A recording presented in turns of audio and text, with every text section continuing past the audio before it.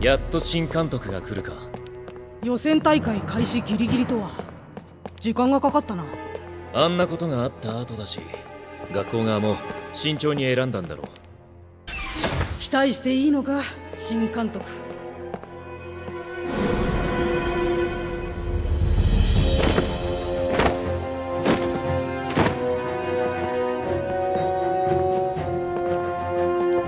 もう揃っているのか。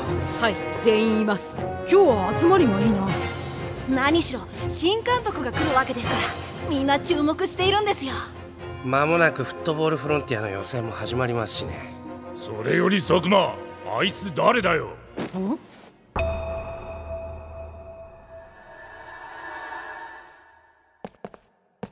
お前誰だ？さあな。おいキャプテンに対して失礼だぞ。キャプテン？佐久間さんも知らないんですか？てっきり後で紹介してくれるのかと。俺は聞いていない。俺もあんたがキャプテンなんて聞いてない。軌道がいないせいで大した実力もないやつが キャプテンに抜擢されたわけか。なんだと？甘っちょろい気持ちでサッカーをやってる奴らが仲間だなんだとベタベタしてんのを見るとヘドが出るんだよ。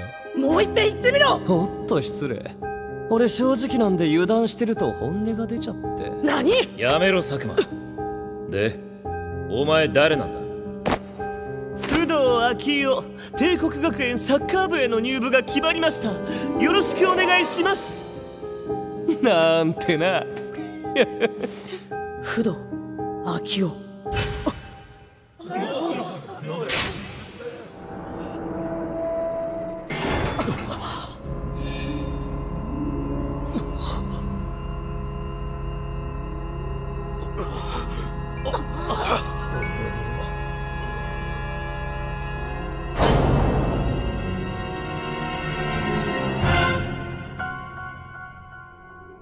私が新監督の影山礼二だ。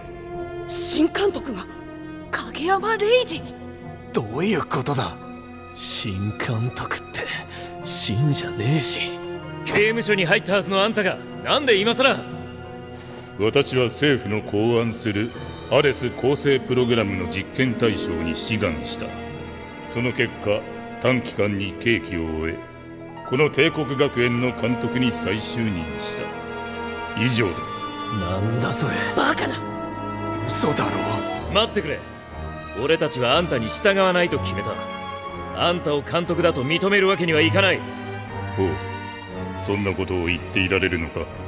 私は大会に参加する全てのチームを分析した。今のお前たちでは清少学園には勝てない。私は帝国学園を勝たせるために帰ってきたのだ再び帝国はサッカー界に君臨する。私の指示通りに動けばな。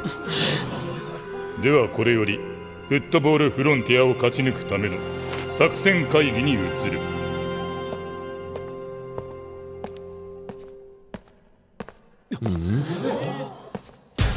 風丸。なぜだ？なぜ影山に従う？風丸！教会委員として監督をサポートするそれだけのことだ。全員席に着け。では総帥始めます。これより新たなタクティクスインペリアルサイクルの動きを説明する。